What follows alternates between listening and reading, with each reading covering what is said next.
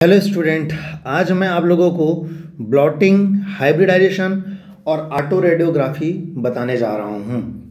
ये टॉपिक इसलिए इम्पोर्टेंट है क्योंकि जब आप डीएनए फिंगरप्रिंटिंग को अगर आप ट्वेल्थ लेवल पे एन लेवल पे जब आप पढ़ेंगे तो लास्ट का जो टेक्निक है, उसमें इनका ज़िक्र आपको मिलता है।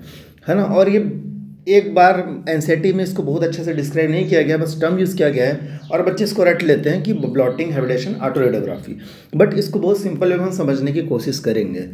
स्टार्टिंग करते हैं हम ब्लॉटिंग से। देखिए ब्लॉटिंग और हैबिटेशन दोनों कभी कभी एक साथ भी यूज़ किया जाता है। बट मैं अलग अलग इसलिए बता रहा हूँ क्योंकि इन दोनों का मीनिंग अलग अलग होता है। ठीक है? स्टार्ट करते हैं हम ब्लॉटिंग से। देखिए ब्लॉटिंग क्या होता है ब्लॉटिंग तो देखो, अगर आप लोग को याद होगा कि आपने अभी तक का जो प्रोसेस पढ़ा था, उसमें इलेक्ट्रोफोर्सिस पढ़ लिया ठीक है ना? जब इलेक्ट्रोफोर्सिस होता है तो जो जेल, है ना, जेल में आपने पढ़ा होगा कि एक ब्लू कलर का जेल था, है ना? ब्लू कलर डाई यूज़ किए थे, इसलिए ब्लू कलर का दिख रहा था। ठीक है? उस जेल में वेल्स थे,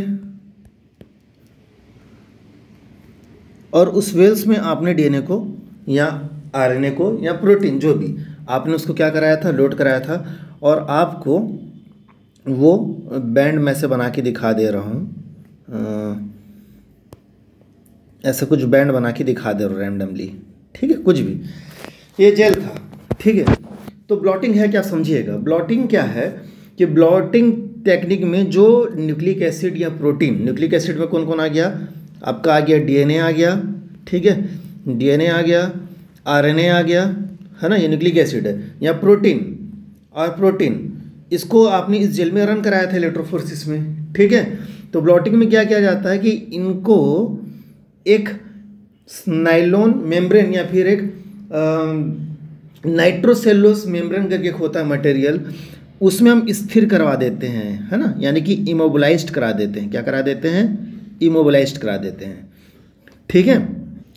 समझ सपोज़ मान लेते हैं कि ये क्या चीज़ था?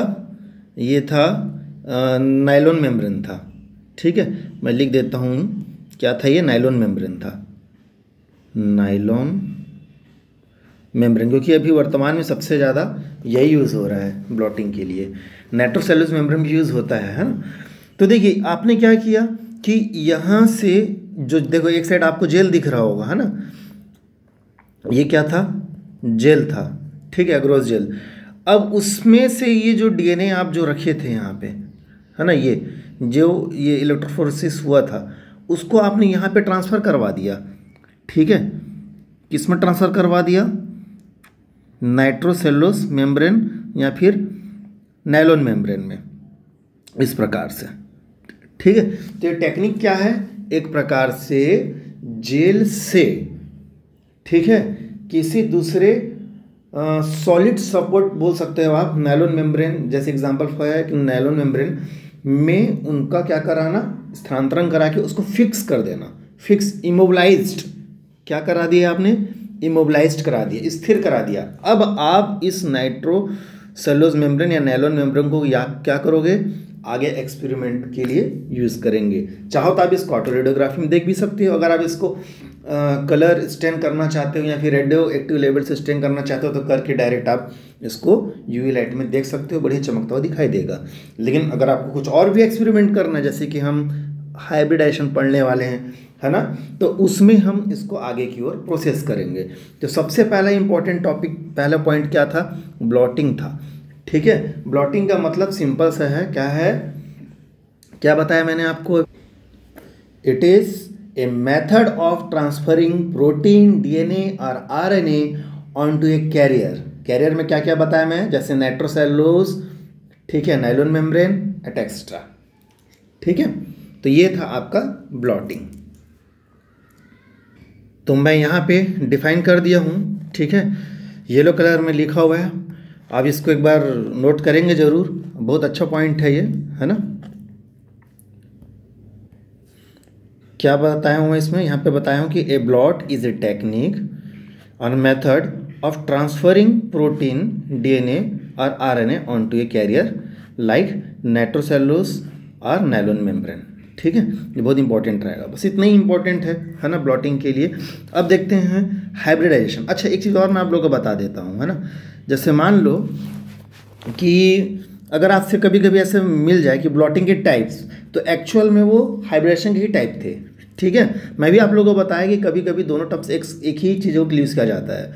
बट वास्तव में इनका मीनिंग अलग अलग निकलता है ब्लॉट अलग निकलता है हाइब्रिडाइजेशन का अलग निकलता है। आप नाम समझिए ना हाइब्रिडाइज हाइब्रिड वर्ड से आए, यानी कि आप कुछ मिला के कुछ और बनाने वाले हो उसमें, है ना? तो कैसे हम एक ही साथ यूज़ कर दे है ना? नहीं करते। लेकिन टेक्निक का जो प्रोसीजर है मोस्टली हाइब्रेशन के प्रोसेस के लिए हम ब्लॉटिंग करवाते हैं। समझ रहे हो मैं क्या बोल रहा हूँ? हाइब्रेशन एक टेक्निक होगा, जो बताऊँगा क्या है। उसके लिए ब्लॉटिंग कंपलसरी होता है। इसलिए कभी कभी दोनों के लिए कॉमन टर्म्स यूज़ कर लेते हैं। जैसे कि देखो एग्ज़ाम्पल बता देता हूँ मैं। जैसे कि कभी कभी आपको मिल गया ब्लॉटिंग के टाइप्स ठीक है? ब्लॉटिंग के टाइप्स तो अगर आपको ब्लॉटिंग के टाइप पूछा जाए तो आप सिंपली बताना कि ब्लॉटिंग जो होता है, वो आप तीन टाइप से पढ़ते हो। ठीक है? एक होता है सदन ब्लॉटिंग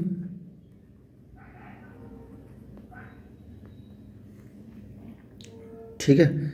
सदन ब्लॉटिंग एक होता है नदन और एक होता है वेस्टर्न अब आपको क्या लगता है? आपको क्या याद करना चाहिए? देखो, मान लो गलती से अगर आपके एग्ज़ाम में आ गया कॉम्पिटेटिव एग्ज़ाम ही। है सिंपल से याद रखना, सिर्फ़ एक ही चीज़ याद रखो, क्या? कि सदन ब्लॉटिंग जो होता है, वो डीएनए कराया जाता है, यानी कि जो आप इमोबलाइज करा रहे थे जेल से सेलुलोज नेट्रोसेलुलोज मेम्ब्रेन में क्या था? डीएनए था। और यदि आपको वो बोले कि नदन ब्लॉटिंग तो याद रखना कि जो जेल से जो ट्रांसफ़र कराए थे वो क्या था? वो आर था। और यदि कोई बोलेगा आपको वेस्टर्न ब्लॉटिंग तो आप जो इमोबलाइज कराए थे, वो कोई प्रोटीन था। एक्चुअल में ये है। क्लियर है? Southern blotting northern blotting and western blotting किसके लिए हम यूज़ कर रहे हैं? डीएनए आरएनए एंड प्रोटीन के लिए यूज़ कर रहे हैं। बहुत सिंपल था, है ना? आगे बढ़ते हैं। अब नेक्स्ट हम देखते हैं हाइब्रिडाइजेशन क्या है। ठीक है? तो इन मोलिकुलर बायोलॉजी मतलब मोलिकुलर बायोलॉजी के टर्म्स में वाला बता रहा हूँ ना, ये नहीं कि आप दूसरे जेनेटिक्स या दूसरे टॉपिक या फिर केमिस्ट्री में पहुँच गए। ठीक है? मैं यहाँ पे बायोलॉजी में भी मोलिकुलर बायोलॉजी जो हम पढ़ रहे हैं ना टेक्निक उसमें, उसके रिस्पेक्ट हम बता रहे हैं कि हाइब्रेशन क्या होता है। ठीक है? तो हाइब्रेशन क्या होता है? Hybridization is a phenomenon in which single stranded DNA or R N A molecules anneals to complementary N A मतलब एक ऐसा घटना है कि जिसमें आप सिंगल स्ट्रैंड डीएनए और आरएनए को किसी उसके कॉम्प्लीमेंट्री डीएनए और आरएनए के साथ क्या करते हो? जोड़ते हो। ठीक है? एनिल्स करते हो। तो उस कंडीशन में यहाँ पे हम हाइब्रिड वर्ड आता है। इसी को हम क्या बोलते हैं? हाइब्रिडाइजेशन कहते हैं। ठीक है? मैं लिख देता हूँ पॉइंट को। देखिए, यहाँ पे मैंने जो डेफिनेशन लिखा है, ठीक है, उसमें मैंने प्रोटीन को इंक्लूड नहीं किया है। ठीक है? अगर मैं प्रोटीन को इंक्लूड करता हूँ, है ना? अगर मैं किसको इंक्लूड करता हूँ? प्रोटीन को। तो अगर जो जेल में अगर आप प्रोटीन डाले होंगे तो उस कंडीशन में यहाँ पे जो प्रोब होगा, ठीक है जिसके साथ आप कॉम्प्लीमेंट्री जो अटैचमेंट कराते हैं ना, वो भी प्रोटीन ही होना चाहिए, ठीक है? तो प्रोटीन इंट्रैक्शन प्रोटीन से ही होने वाला है, ठीक है? डीएनए का इंट्रैक्शन डीएनए से और आरएनए का आरएनए से, ठीक है? डीएनए के इंट्रैक्शन आप डीएनए से करवाओगे और आरएनए के इंट्रैक्शन आप आरएनए से करवाओगे, ठीक है? हालाँकि आप डीएनए के इंट्रैक्शन आरएनए से भी करा सकते हैं, लेकिन हमको पर्टिकुलर काम के लिए पर्टिकुलर मॉलिक्यूल यूज़ करें तो ज़्यादा अच्छा है। ठीक है? तो कुल मिला के यहाँ पे बात आ रही है कि हम किसी कॉम्प्लीमेंट्री के साथ उसका क्या करा रहे हैं? जोड़ रहे हैं उसको, ताकि हम उसके बारे में अच्छे से स्टडी कर सकें। बट क्यों जोड़ना है? क्यों काम करना है? ये सब आप तब को तभी समझ आएगा जब आप इसके एप्लीकेशन वाले पार्ट को समझोगे। जैसे सबसे पहले आपको से अभी अभी तक आपको क्या याद रखना है हैबिटेशन में? अब इतना याद रखना है हैबिटेशन में कि एक ऐसा टेक्निक है मेथड है जिसमें आप single strand DNA single strand RNA या किसी प्रोटीन को, उसके कॉम्प्लीमेंट्री डीएनए आरएनए और प्रोटीन की रिस्पेक्ट बात करूँगा तो मोस्टली जो होता है वो एंटीबॉडी यूज़ किया जाता है। ठीक, क्या यूज़ किया जाता है? मोस्टली एंटीबॉडी यूज़ किया जाता है। तो उसके साथ आप क्या करते हो? जोड़ते हो। क्योंकि एंटीजन एंटीबॉडी इंट्रैक्शन आप पढ़े होगे। ठीक है इम्यूनोलॉजी में आपको मालूम होगा कि एंटीजन क्या होता है। एंटीजन कोई भी प्रोटीन मॉलिक्यूल हो सकता है। ठीक है? एंटी बॉडी और एंटीबॉडी वो होता है जो एंटीजन के साथ बाउंड करता है। तो जैसे डीएनए के लिए मैं कॉम्प्लीमेंट्री डीएनए यूज़ किया आरएनए के लिए कॉम्प्लीमेंट्री आरएनए यूज़ किया, है ना? तो वैसे ही किसी प्रोटीन का जब कॉम्प्लीमेंट्री प्रोटीन होता है बाइंड करता है तो हम सीधे सीधे उसको इम्यूनो टेक्निक में यूज़ करते हैं। यानी कि सीधा सीधा बोल सकता हूँ antigen antibody based interaction that is antibody use होने वाला है यहाँ पे। क्या यूज़ होने वाला है? एंटीबॉडी यूज़ होने वाला है। बट हम मोस्टली क्या पढ़ते हैं? आपके सिलेबस में क्या रहता है? आपके सिलेबस में डीएनए वाला ही रहता है। ठीक है? यानी कि आपकी मैं डीएनए फिंगरप्रिंटिंग बस दिया है ना? उसी रिस्पेक्ट हम पढ़ रहे हैं इसको। ठीक है? तो हम हाइब्रिडेशन टेक्निक को तीन कैटेगरी में डिवाइड करके पढ़ते हैं। कितने? तीन। क्या क्या है वो? हाइब्रिडाइजेशन को आप तीन टाइप्स में पढ़ते हो। और वो तीन टाइप क्या क्या हाइब्रिडेशन का? सदर्न हाइब्रिडेशन नदन हाइब्रिडाइजेशन और वेस्टर्न हाइब्रिडाइजेशन देखिए सेम वही कॉन्सेप्ट जो ब्लॉटिंग वाले में था। सदर्न हाइब्रिडेशन किसके लिए था? डीएनए के लिए था। नदन किसके लिए था? आरएनए के लिए था। वेस्टर्न किसके लिए था? प्रोटीन के लिए था। भूलना मत। ठीक है? अब हाइब्रिडेशन की टेक्निक में जो सबसे महत्वपूर्ण चीज़ होता है, वो होता है प्रोब क्या?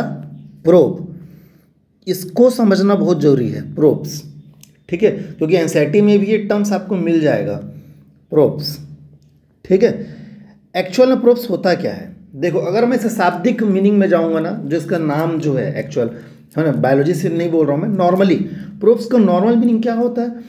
किसी का जाँच करना या कोई चीज़ का रहस्य को पता करने के लिए जो आप यूज़ करते हैं कोई मौलिक मतलब कोई चीज़ को जब आप उसका यूज़ करते हैं, एप्लीकेशन के फॉर्म पे तो हम उसे प्रोप्स कहते हैं।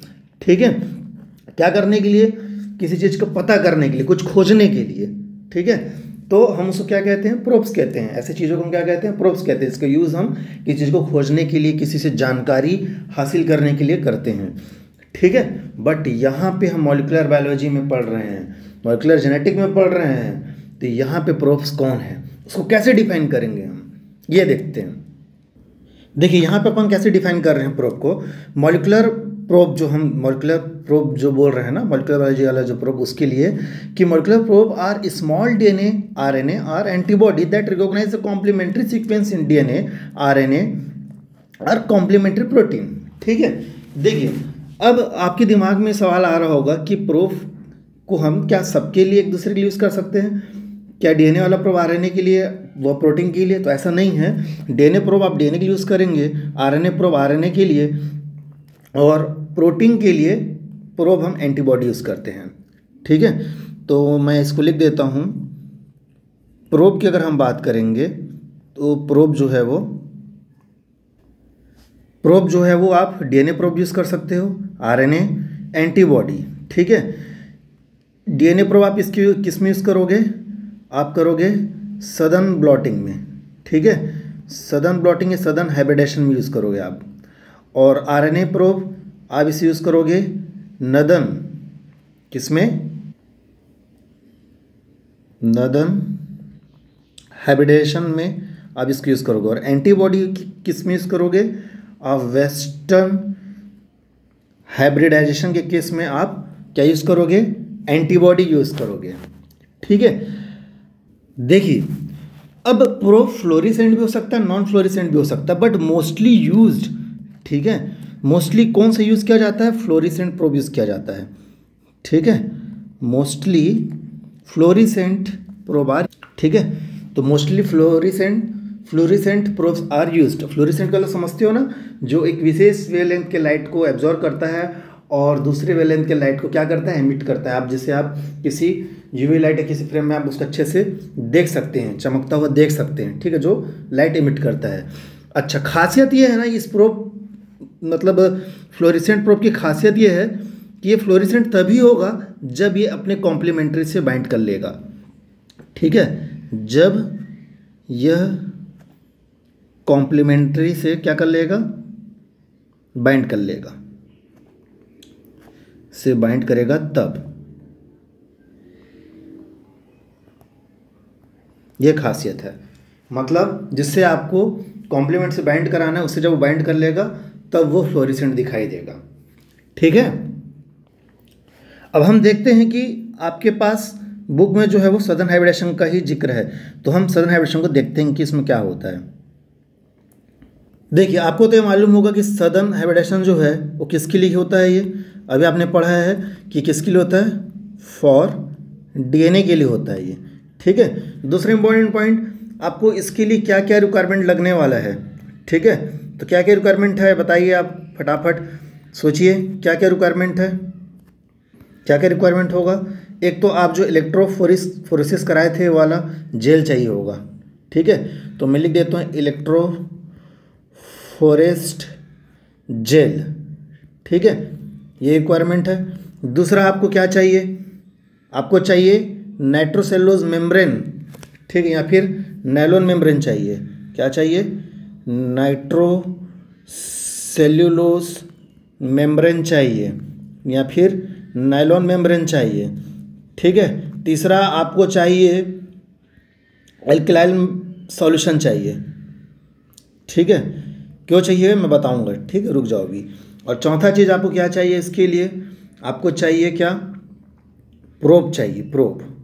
ठीक है? और जिसमें हम हाइब्रिडेशन कराएँगे, वो हाइब्रिडेशन किट चाहिए होगा। ठीक है? हाइब्रिडाइजेशन किट आपको चाहिए होगा। ठीक है? इसके अलावा फ़िल्टर पेपर की भी आपको ज़रूरत पड़ेगी। किसकी? फ़िल्टर पेपर ये नॉर्मल रिक्वायरमेंट है इसमें। ठीक है, आपको खाली मैं बता रहा हूँ, आपको एकदम इसको याद करने रटने की ज़रूरत नहीं आपको जो मेन पॉइंट है, जो अभी टेक्निक है, वो दिखाने वाला हूँ जो, बस वही आपको याद रखना है मेनली ठीक है? अच्छा यहाँ पे जैसे कि मैं बताया कि एक चीज़ तो क्लियर हो गया कि आप जेल जेल लिटरस पढ़ चुके हो तो जेल वाला क्लियर था। नेट नेटसेलिस मेम्ब्रेन बताया मैं, ठीक है, ये अपन ब्लॉटिंग में यूज़ करते हैं। एल्कलाइल सॉल्यूशन क्यों यूज़ किए? एल्कलाइल सॉल्यूशन इसलिए यूज़ करना है ताकि हम जेल में जो प्रेजेंट डीएनए होगा ना, उसको क्या कर दें हम? डीनेचर कर दें, क्योंकि डीएनए डबल स्टैंड होता है। और आपको कैसा चाहिए? याद करो सदन हाइब्रिडेशन के, या हाइब्रिडेशन की डेफिनेशन आप क्या लिखे थे कि आपको सिंगल स्टैंड डीएनए का हाइब्रिडाइज कराना है कॉम्प्लीमेंट्री के लिए, ठीक है? तो एक्लाई सोल्यूशन किस लिए यूज़ करते हैं? तो मैं इसको लिख देता हूँ क्या यहाँ पे, ताकि आप इसको अपने से अच्छे से पॉइंट बना के लिख लीजिएगा, ताकि हम क्या कर सके? डबल स्ट्रैंड डीएनए को डीनेचर करके, क्या करके? डीनेचर करके सिंगल स्ट्रैंड डीएनए में कन्वर्ट कर सके, इसलिए। सिंगल, डबल स्टैंड डीएनए को डीनेचर करके सिंगल स्टैंड डीएनए में अपने क्या करना है? ब्लॉट करना है, इसलिए। ठीक है? तो ये इंपॉर्टेंट था, बहुत ही इंपॉर्टेंट था अल्कलाइज सॉल्यूशन क्यों यूज़ किया जाता है? हालाँकि ये फिर भी तुम्हारे एन लेवल में नहीं है कॉलेज लेवल में आ सकता है। प्रोब यस प्रोब का रोल है। अब देखिए एन लेवल में प्रोब का क्या रोल है? ठीक है तो इस पॉइंट को भी मैं यहाँ पे नोट करके लिख दे रहा हूँ। यहाँ पे एन लेवल में ना मैं लिख दे रहा हूँ। एन लेवल में आप अगर पढ़ोगे तो V N T R S based probe use करने वाले हो। Based probe. अब वी क्या होता है? मैंने इसका क्लास लेक्चर दे चुका है। बताने की ज़रूरत नहीं है। रिपीटेड सीक्वेंस है। Variable number of tandem repeats है। वेरिएबल यानी कि अलग अलग इंसान में उसका जो नंबर होगा, वो डिफरेंट डिफरेंट हो सकता है। ठीक है? और नंबर वही, और T for variable number of क्या? टेंडम रिपीट्स था। क्या था? Tandem repeats variable number of tandem repeats जो बार बार बार बार ठीक है? रिपीट्स हुए हैं। और वी एन की खासियत क्या है? ये जानने के लिए आप पढ़ लीजिएगा नोट्स में देख लीजिएगा, मैंने लास्ट वीडियो में बताया ही है। तो याद रखिएगा कि V N T R based probe आप यूज़ करने वाले हो, इसलिए मैंने वी एन टी आर पढ़ाया था। जैसे जैसे मैं आगे वीडियो बना रहा हूँ, आप लोग को समझ आ गया होगा कि वो टॉपिक मैंने आप लोग को क्यों बताया। ठीक है? सब एक दूसरे से कहीं ना कहीं पर लिंक दिखते जा रहे हैं। क्यों पढ़ा रहा था मैं ये? अब समझ आ गया होगा मैंने क्यों आप लोगों को satellite D N A V N T R सब क्यों बताया? पॉलीमोफिज्म क्यों बताया? क्योंकि आप हाइब्रिडेशन की टेक्निक में यूज़ करने वाले थे, इसलिए वी एन टी आर किसके लिए यूज़ करने वाले थे? प्रोब के लिए। ठीक है? तो अब देखते हैं कि कैसे V N T R based probe को यूज़ करके हम हाइब्रिडेशन कराने वाले हैं। अच्छा तो आपको ये तो समझ आ गया होगा कि कैसे ब्लॉटिंग के बाद हाइब्रिडेशन का प्रोसेस कराने वाले हम लोग। तो यार ब्लॉटिंग में आपने बड़ा सिंपल सा बताया था ना, कि जेल से हम नाइट्रोसेलुलर मेम्ब्रेन में ट्रांसफ़र करते हैं। तो चलो, कैसे करते हैं वो देख लेते हैं। फिर ब्लॉटिंग के बाद हाइब्रिडेशन तो बहुत ही ईजी हो गया, है ना? क्योंकि आप हाइब्रिडेशन में एक प्रोब लोगे और उस सॉल्यूशन डुबा के आप उसको क्या कर दोगे? हाइब्रिडाइज कर दोगे। तो स्टार्टिंग से देखते हैं कि ब्लॉट कैसे किए थे अपन। ठीक है? ये समझाने के लिए आप लोग को बता रहा हूँ, ये आप लोग के लिए एग्ज़ाम में बहुत इंपॉर्टेंट नहीं है। लेकिन दिमाग में सवाल आता है ना कि ब्लॉट कैसे किए थे? तो आप लोग को मैं बता रहा हूँ। जो हाइब्रेशन जो कैसेट होता है ना, एक मतलब एक बॉक्स जो होता है, उसमें क्या क्या होता है मैं आप लोग को पूरा एक ड्रॉ करके बता रहा हूँ, ठीक है? इसमें एक नीचे की ओर सबसे बेस में अगर आप जाओगे तो एक ब्लॉक सपोर्ट होगा, ठीक है? जो जेल को क्या करेगा? सपोर्ट करके रखेगा, ठीक है? तो ये मैंने बना दिया। ठीक है? क्या बना दिया? यहाँ पे सपोर्ट ब्लॉक बना दिया मैंने। क्या है ये? सपोर्ट ब्लॉक है। ठीक है? ये है सपोर्ट ब्लॉक ठीक? इसके ऊपर आपको क्या डालना है? इसके ऊपर आपको एक फ़िल्टर पेपर डालना होगा। ठीक है? फ़िल्टर पेपर फ़िल्टर पेपर को मैं एक नॉर्मली ऐसे बना दे रहा हूँ। ये फ़िल्टर पेपर है। ठीक है? क्या है ये? फ़िल्टर पेपर है। ये आपका फ़िल्टर पेपर है, फ़िल्टर पेपर। फ़िल्टर पेपर के ऊपर आप क्या डाल देंगे? फ़िल्टर पेपर के ऊपर आप क्या डाल देंगे? जेल डाल देंगे। ठीक है? जो इलेक्ट्रोफोर्सिस कराए थे ना वाला जेल यहाँ पे मैं डाल दूँगा। ठीक? और फिर उस जेल के ऊपर आपका जो मेन मेम्ब्रेन जो आप यूज़ करने वाले थे, कौन सा मेम्ब्रेन कौन से मेम्ब्रेन यूज़ किए? जेल के ऊपर क्या रखे हो आप? नाइट्रोसेलोज मेम्ब्रेन देखते हैं ना? देखो, ये आपका क्या था? ये आपका जेल था। क्या था? जेल। और इस जेल के ऊपर आपने क्या रखा हुआ है? जेल के ऊपर आपने क्या रखा हुआ है? मेम्ब्रेन रखा हुआ। कौन सा मेम्ब्रेन नाइट्रोसेलोज मेम्ब्रेन या फिर नाइलॉन मेम्ब्रेन जो सबसे ज़्यादा यूज़ होता है। ठीक है? फिर उसके ऊपर आप क्या रख देंगे? उसके ऊपर फिर से आप फ़िल्टर पेपर रख देंगे। ठीक है? उसके ऊपर क्या बिछा देंगे फिर से? फ़िल्टर पेपर रख देंगे, है ना? तो मैं यहाँ पे लिख दिया, अगला फिर से क्या आ गया? फ़िल्टर पेपर आ गया। ठीक है? ये क्या रख दिया आपने? फिर से फ़िल्टर पेपर रख दिया। फ़िल्टर पेपर के बाद, ठीक है? आप पेपर टिश्यू यहाँ पे रख देंगे। ठीक है? पेपर टिश्यू, ये मैं रख दिया। ठीक? अब उसके बाद आप उसमें कोई वेट डाल देंगे। ठीक है? अब मैं इसके ऊपर क्या कर दूँगा? वेट वेट डाल दूँगा मैं। ठीक? और इसको, इस प्रोसेस को कंप्लीट करने के लिए कुछ समय के लिए इसको छोड़ दूँगा। है ना? ये एक्चुअल बेस है। मैं जो तरीका बता रहा हूँ कि कैसे, उस कैसेट में होता है, चीज़ें इवेंट क्या क्या रहती हैं, वो मैं आप लोग को बता रहा था यहाँ पे। ठीक है ना? और इसको हम कुछ समय के लिए क्या कर देते हैं? छोड़ देते हैं। तो देखो, अब स्टेप में अगर मैं आऊँगा तो स्टेप में सबसे अगर हम फंडामेंटल स्टेप में आएँगे तो सबसे पहले क्या हुआ था? सबसे पहले आपने देखा होगा फॉलोइंग इलेक्ट्रोफोर्सिस ठीक है, सबसे पहले आप क्या करेंगे? पढ़ डाले हो ना? इलेक्ट्रोफोर्सिस कराओगे आप, ठीक है? इलेक्ट्रोफोरेसिस उसके बाद आपने क्या करवाया? उसको एल्कलाई सॉल्यूशन में डुबा के उसको क्या किया? डीनेचर किया। ठीक है? क्या किया? डीनेचर्ड इन किसको डीनेचर किया आपने? डीएनए को। Denatured in strong alkali solution ठीक है? फिर क्या किया? फिर ब्लॉटिंग करवा दिया आपने। अब ब्लॉटिंग कैसे किया? मैं दिखाया आप लोग को। ठीक है? आपने क्या करा दिया? ब्लॉटिंग करवाया। ठीक? तो ये यहाँ तक का प्रोसेस था ब्लॉटिंग का। ब्लॉटिंग के बाद आपने क्या करवाया? हाइब्रिडेशन करवाया। हाइब्रिडेशन कराने के लिए क्या किया? आपने प्रोफ सॉल्यूशन लिया और प्रोफ सॉल्यूशन में क्या कर दिया? उसको कर दिया आपने? उसे उस नाइट्रोसेलोज नाइट्रोसेलोज मेम्ब्रेन या फिर नाइलॉन मेम्ब्रेन जो आप यूज़ किए हो ना, उसको डुबा दिया। ठीक है? तो उसी को हम क्या बोलते हैं? फिक्सेशन स्टेप बोलते हैं। फिक्सेशन स्टेप एक्चुअल में अब हुआ क्या देखो? अब आपने क्या किया था ना? अब मैं आपको समझा रहा हूँ, ध्यान से देखिएगा। आप क्या किए? एक कंटेनर लिए, ठीक है? उसमें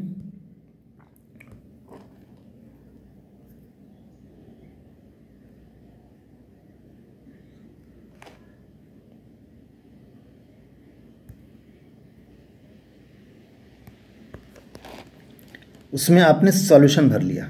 ठीक है? कोई सॉल्यूशन भर लिया? उस कंटेनर आपने क्या किया?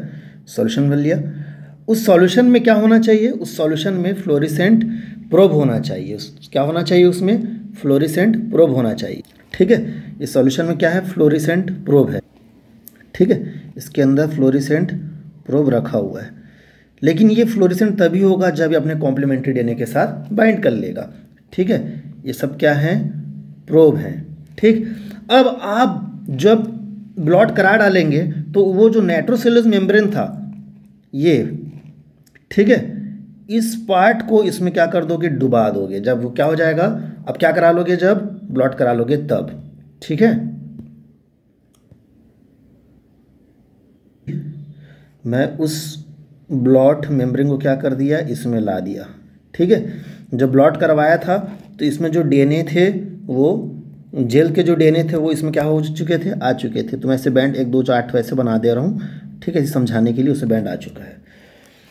ठीक है, अब जब हाइब्रिडेशन कंप्लीट होगा, तब कहानी क्या होगा?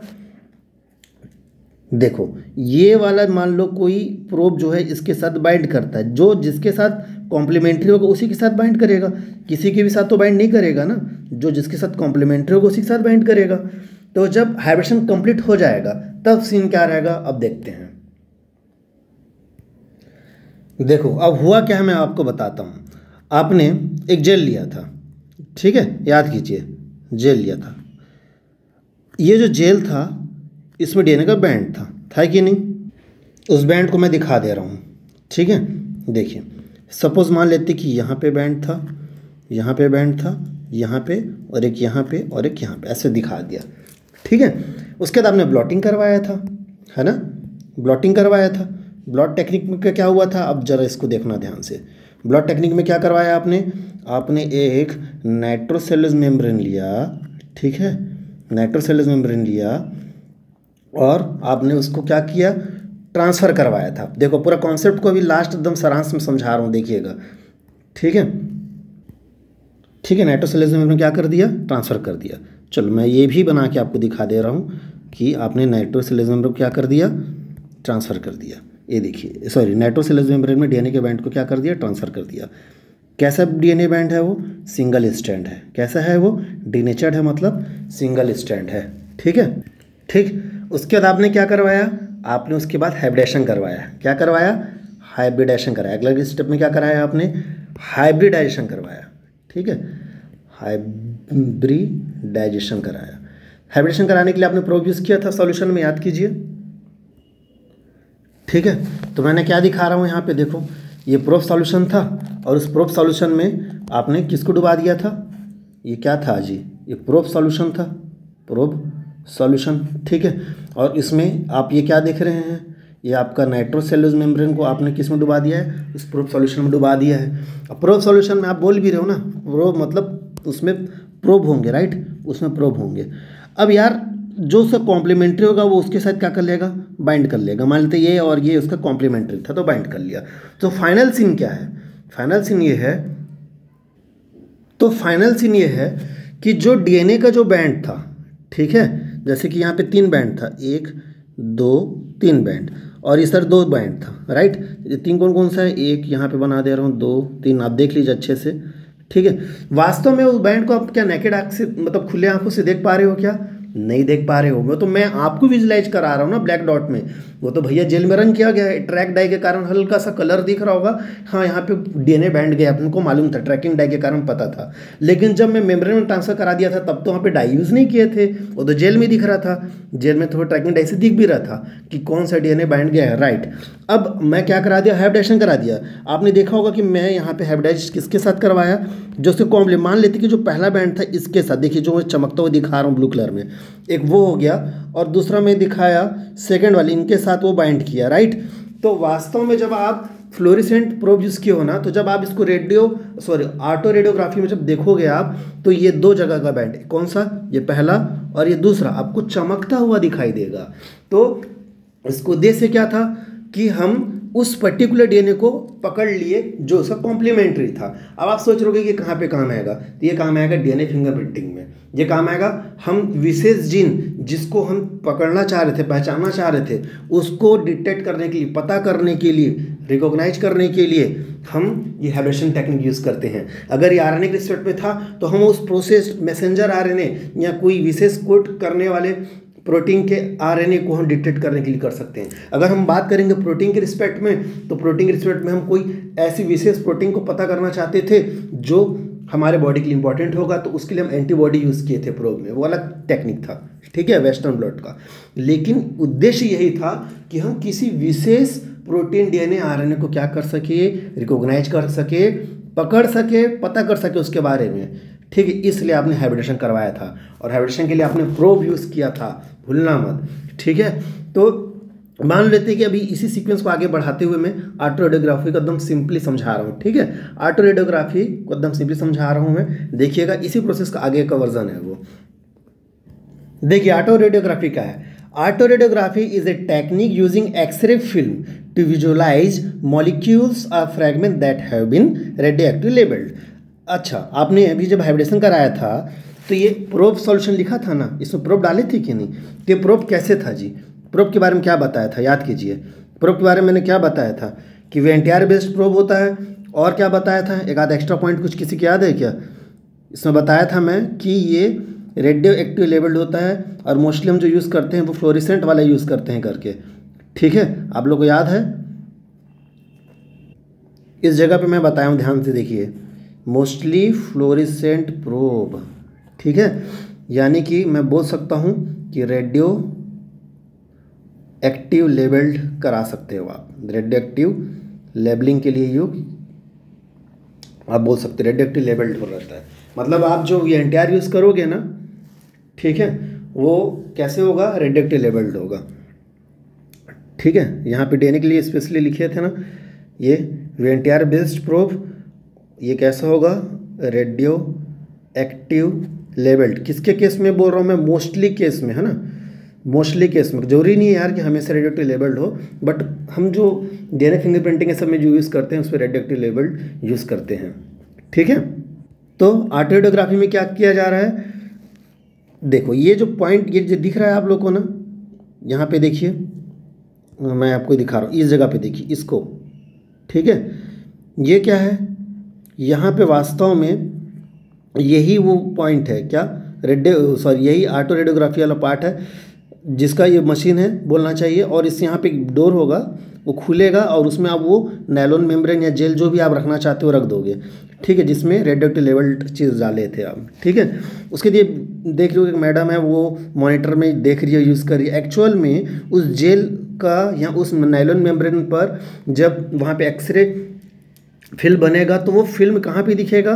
वो फ़िल्म दिखेगा मॉनिटर में। ठीक है, मैं आपको समझाता हूँ, देखिए। सपोज़ कि ना, मान लेते हैं कि यहाँ पे मैं जो रेड कलर से बना रहा हूँ, ये वही मशीन था, ये वाला। ठीक है? अब जब इसमें हम यूवी लाइट एक्सरे लाइट जब हम पास करवाएँगे तो जो कंप्यूटर का जो मॉनिटर जो था, ठीक है? कंप्यूटर का जो मॉनिटर था, उसमें इसका इमेज आएगा। क्या आएगा उसका? इमेज आएगा। ठीक है? वो इमेज है ना? क्योंकि ये उससे लिंक होगा कंप्यूटर के मॉनिटर से लिंक होगा राइट तो वो जब इमेज इसमें जब बनेगा तो तो आपको क्या लगता है कि वो जो जेल था, उसमें सभी बैंड चमकते हुए दिखाई दे रहे थे? नहीं। क्या आप देख पा रहे थे? नहीं। जब आप ऑटो रेडियोग्राफी यूज़ किए, तब जाकर आपको वो जो जेल था, या जो नाइलॉन मेम्ब्रेन था उसमें उसी जगह पे चमकता हुआ दिखाई देगा जहाँ पे क्या हुआ था? हाइब्रिडाइजेशन हुआ था। देखिए, ये जो मैं बना रहा हूँ आपको, चमकता हुआ जो दिखा रहा हूँ, ठीक है, इस जगह पे क्या हुआ था? हाइब्रिडाइजेशन हुआ था। ठीक है, मैं नीला रंग में दिखा रहा हूँ बट मोस्टली वो ऑरेंज लाइट ऑरेंज कलर में दिखाई देता है। ठीक है? ठीक है ना? तो यहाँ पे आप जो देख रहे हैं, वो क्या था? ये ऑरेंज कलर का जो बैंड दिख रहा है, यही था वो हाइब्रिडाइज्ड बैंड ठीक है? यही था हाइब्रिडाइज्ड बैंड ठीक है?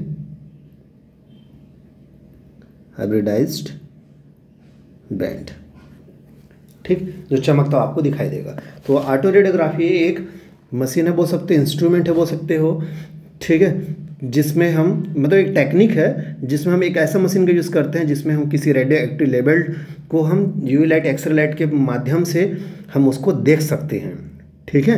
जो चीज़ हम पहले नहीं देख पा रहे थे, अब उसको हम देख पा रहे हैं। यही था। ठीक है? तो ये बहुत इंपॉर्टेंट पार्ट मैंने आप लोगों को बताया है। इसके बाद डीएनए फिंगरप्रिंटिंग एक फॉर्मेलिटी रह गया। अब डीएनए फिंगरप्रिंटिंग का उद्देश्य क्या था? कि उसमें हम किसी क्राइम सीन पे पाए हुए कुछ सैंपल है, उसको हम कोई सस्पेक्ट होता है, जिसके ऊपर हमको शक रहता है, कुछ भी तो उससे हम चेक करते हैं, उसका सैंपल डीएनए लेते हैं और उस क्राइम सीन के डीएनए से मिला के देखते हैं कि एग्जैक्ट मैच खा रहा है कि नहीं। तो ये मिला के चेक करने का जो प्रोसेस है, हम डीएनए फिंगरप्रिंटिंग के माध्यम से सीखेंगे कि कैसे वो करते हैं। ठीक है? इसके अलावा कोई ये बोलना चाहते मान लो कोई अननोन चिल्ड्रन है, ठीक है, जिसके हमको पेरेंट के बारे में नहीं मालूम है तो जो उसके सस्पेक्ट पेरेंट थे, उससे हम चेक करके देख सकते हैं कि ये उनका बच्चा है कि नहीं। तो बहुत सारा एप्लीकेशन डी डीएनए फिंगरप्रिंटिंग का आने वाला है। तो डी डीएनए फिंगरप्रिंटिंग में ये सारे टेक्निक यूज़ होने वाले थे, इसलिए मैंने आप लोगों को बताया था। ठीक है तो याद रखिएगा कि रेडियो ऑटोग्राफी ऐसा नहीं कि सिर्फ़ डीएनए फिंगरप्रिंटिंग यूज़ होने वाला है। ऑटो रेडियोग्राफी सिंपली एक ऐसा टेक्निक है जिसमें आप कोई चीज़ को विजुलाइज करते हैं यूवी लाइट या एक्सरे लाइट के माध्यम से, जिसको आप फ़िल्म के फॉर्म पे आप कंप्यूटर के स्क्रीन में देखते हैं। ठीक है हाइब्रेशन टेक्निक क्या था? क्या वही सिर्फ़ डीएनए फिंगरप्रिंट के लिए यूज़ किया जाता है? ऐसा नहीं है। भाई नॉर्मली अगर मुझे सिर्फ़ हाइब्रेशन कराना था हाइब्रेशन करा सकता हूँ, जिसमें किसी पर्टिकुलर जिन को पकड़ने के लिए करना था। ठीक है क्या पर्टिकुलर आरएनए को पकड़ने के लिए करना था। हाँ लेकिन हम डीएनए फिंगरप्रिंटिंग में भी टेक्निक यूज़ करेंगे। तो डीएनए फिंगरप्रिंटिंग में टेक्निक यूज़ कर रहे हैं राइट इसका मतलब ये नहीं है कि ये टेक्निक सिर्फ़ डीएनए फिंगरप्रिंटिंग के लिए था, ठीक है? इसका अपना अपना एप्लीकेशन है। तो डीएनए फिंगरप्रिंटिंग में पढ़ने वाले हैं अपन इसको। बट याद रखना कि हाइब्रेशन टेक्निक क्या था? हाइब्रेशन टेक्निक सिंपल से एक ऐसा टेक्निक है जिसमें कोई आर एन को आप हाइब्रिडाइज करते हैं, ठीक है?